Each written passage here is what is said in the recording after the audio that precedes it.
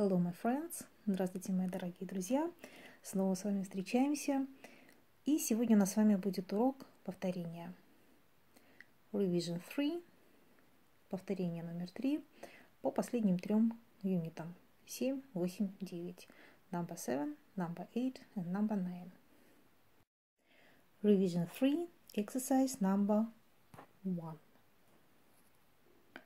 Упражнение номер один. Write his, or my. Напишите его, ее или мой.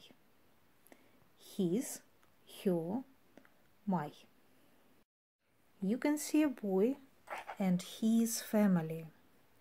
You can see a girl and her family. Вы здесь видите мальчика и его семью, и девочку и ее семью каждой карточке здесь написано имя и кем является этот родственник – мальчику или девочке. For example, George dead. Так мы знаем, что папу Джона зовут Джордж. Мэри – мам. Маму Джона зовут Мэри. И сейчас мы с вами будем составлять предложения. У нас в этом упражнении уже есть заготовка – Mary is my mom. Джон говорит, что Мэри – это моя мама. Он говорит о себе, о своей маме.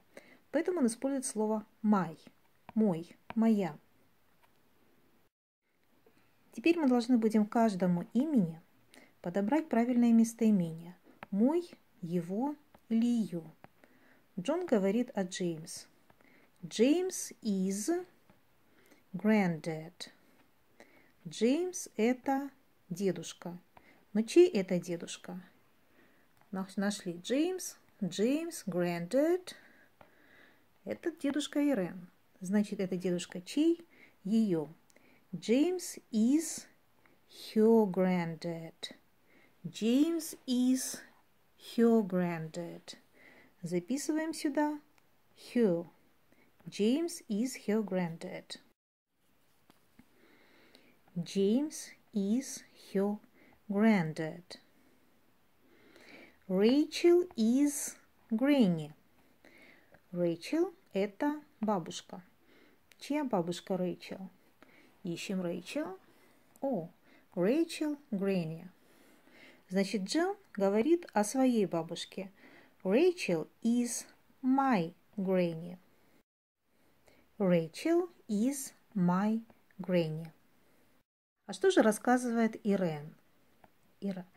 George is dead. Джордж – это папа. Чей это папа? Это не Джордж. Джордж dead. Значит, Ирен говорит о папе Джона.